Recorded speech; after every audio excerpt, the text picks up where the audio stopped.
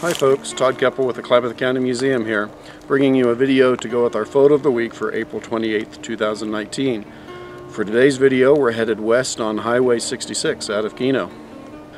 This is a photo I've been looking forward to sharing with you for a long time for a number of reasons.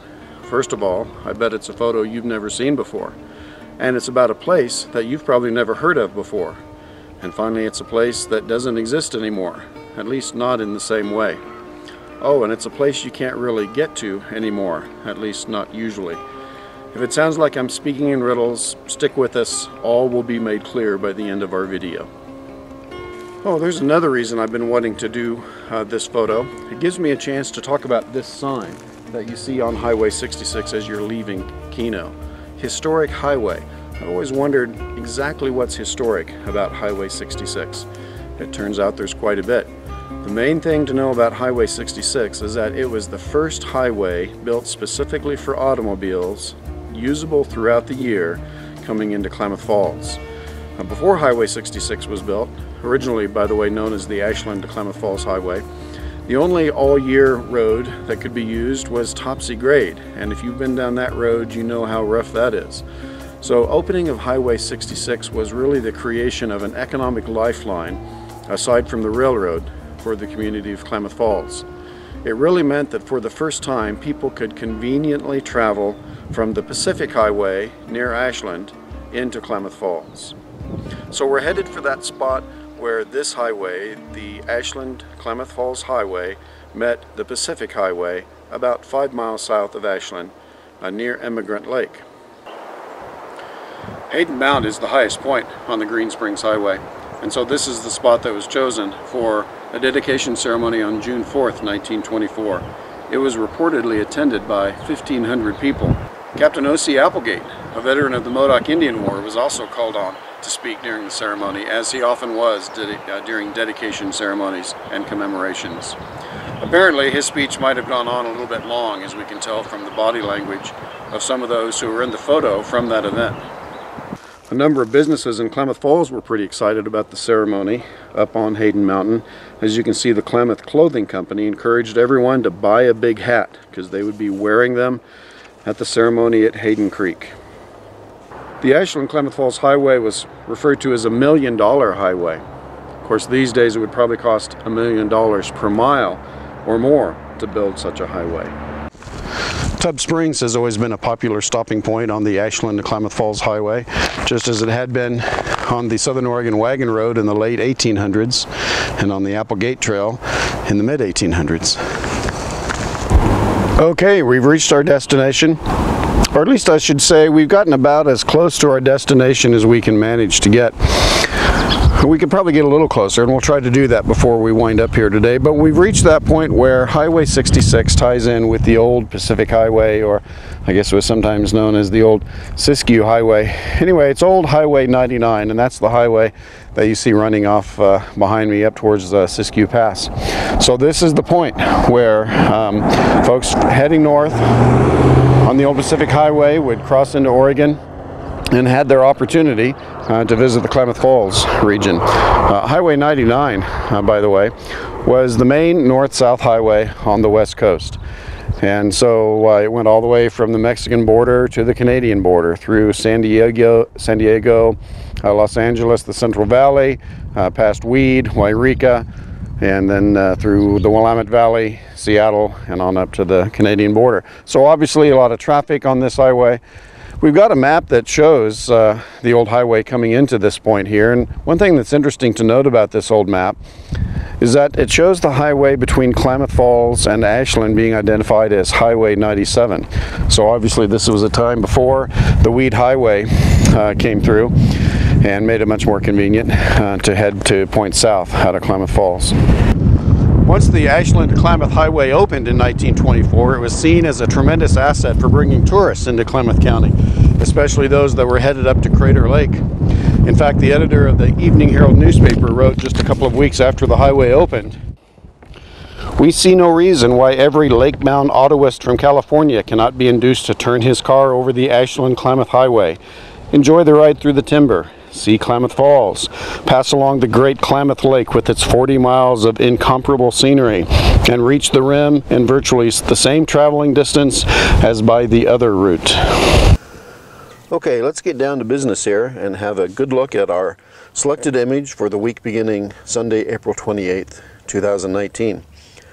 It shows the Southern Oregon Tourist Bureau at the junction of the Ashland to Klamath Falls Highway and the Pacific Highway. This is the Klamath Junction. So these are the facilities that were set up by the good people of Klamath Falls and Klamath County in a project sponsored by the Klamath County Chamber of Commerce. The facilities that we see here include a filling station. There's also a dining hall. There is a campground and of course an exhibit building, a handsome little building established to display products of Klamath County. We know from newspaper accounts that there were a number of individuals involved in this project. Uh, for instance, we know that an individual by the name of Carrie Ramsby was hired to coordinate the Tourist Bureau. And we know that the filling station was operated for a time by longtime Klamath Falls resident Harold Ogle. And as far as the, the exhibit hall goes, we know that among those who participated in displays there was the county agent, Charles A. Henderson. As we pan across this image, we can see the filling station and the visitor bureau. We can see a number of cars that have pulled into the station. Here's a close look at the exhibit building. And at the far right, we can see in this photo taken by the Stinson studio that there were facilities for ladies and gents. You can see from this advertisement in the Evening Herald newspaper that people from Klamath Falls were being encouraged to stop by and support the Tourist Information Center at Klamath Junction. Folks were encouraged to buy gasoline, top off their oil, and have lunch whenever possible at Klamath Junction. All right, so let's deal with the issue of why we can't actually get to the spot where our photo was taken. Here's the way it worked out. In the early 1920s, about the same time that Highway 66 was being planned, the Talent Irrigation District in Jackson County was planning to build a dam on Emigrant Creek. So uh, I don't know exactly how that worked out, but the Klamath Junction was located just at the upper end of the new Emigrant Lake. In the 1960s, the U.S. Bureau of Reclamation decided to raise the dam on Emigrant Creek by about 100 feet. And so that flooded a large area, including the Klamath Junction. So you can see here that uh, the old Pacific Highway has been blocked off. So let's go see how far we can get on the old Ashland to Klamath Falls Highway.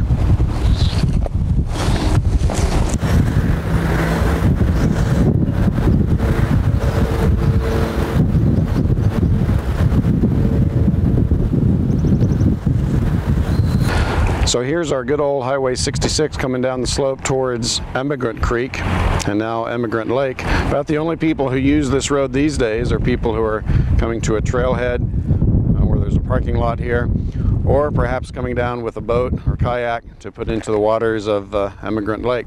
So it looks like good old Klamath Junction, probably never to be seen again. Here's a map that was provided to us by my friend and colleague in Jackson County, Ben Truwe. This map, again, shows the Highway 97 marker on the, uh, the old highway, but it actually identifies Klamath Junction. When Ben sent me this photo, he emailed me a message and said uh, that he guessed that people in Klamath were probably trying to tell people traveling towards Crater Lake that they couldn't get to Crater Lake by going through Medford. I told him they probably did say that. We still tell people that. No, that's just a joke, I'm kidding we all share this great national treasure that's known as Crater Lake, which happens to be in Klamath County, just saying. Before we sign off, I've got one quick announcement I'd like to make. Please stand by for that. As a postscript to our video, I just wanted to say that I didn't drive all the way to Ashland to make this video. I'm actually spending a couple of days here in the last week of April in Medford attending the Oregon Heritage Summit. That's an annual event that's put on by the Oregon Heritage section of the Oregon Parks and Recreation Department. It's a chance for us to collaborate and uh, communicate with our counterparts in other organizations around the state of Oregon. And Klamath is actually pretty well represented at this event this year. We've got Eric Nelson here. He's the chairman of the Museum Advisory Board.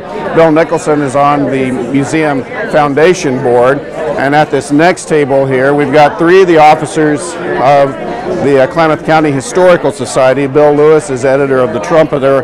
B. Naylor is the vice uh, president of the organization, and Sally Balo is the secretary. Also here uh, this week somewhere, we've got um, um, Harold and Linda Hartman. They live in Malin, and they're involved in the Smoke Jumper Base Museum.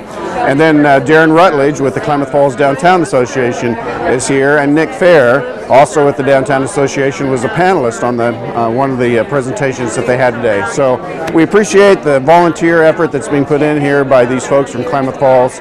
And if you're ever interested in participating in uh, some way on a board with the Historical Society or with the museum, we hope you'll give us a call at the museum. We'd love to have your help. For the Klamath County Museum, I'm Todd Kepple. We think local history is important and fun. We hope you do too. Thanks for watching, and we'll see you next time.